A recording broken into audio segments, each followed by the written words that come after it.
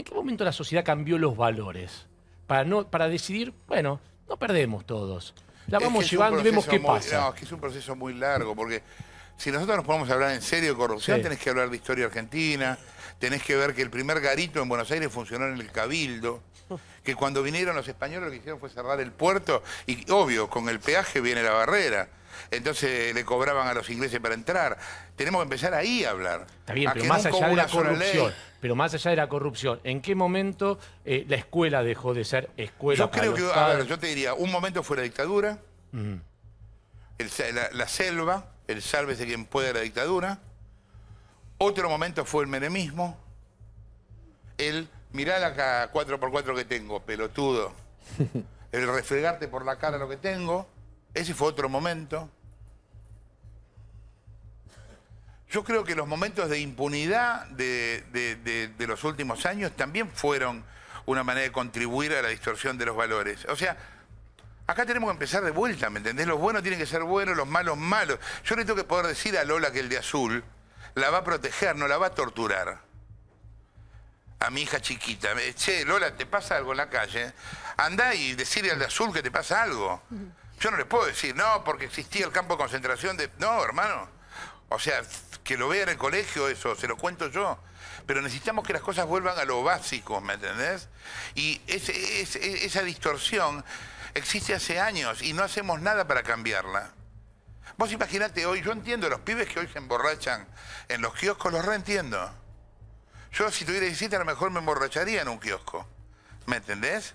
¿Por qué? Y, y- y por, por mi alrededor.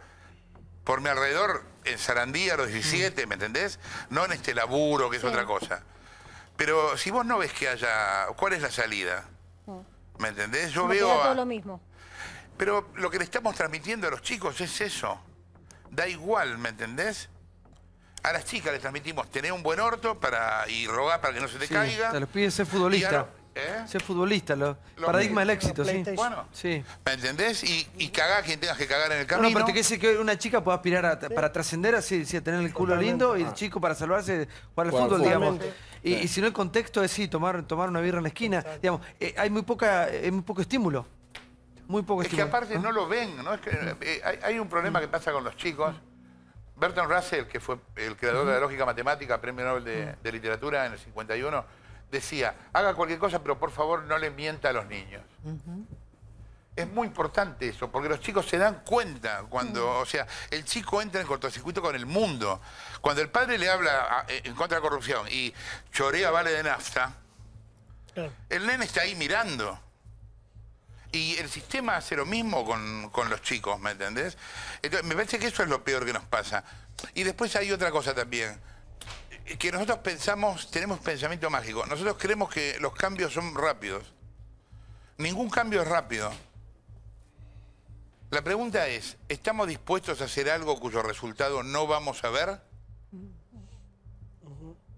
Si la respuesta es sí, pongámonos a laburar y lo verán nuestros nietos. Ahora, ¿sabes qué? Si la respuesta es no, hay arte, viajes, eh, música, hay millones de cosas más interesantes para hablar que estas pelotudeces que estamos diciendo. Porque no se va a cambiar Entonces nada. dediquémonos a otra cosa y no suframos, porque si no es como que sufrimos, pero no hacemos nada para cambiarlo. ¿me entendés? Diego.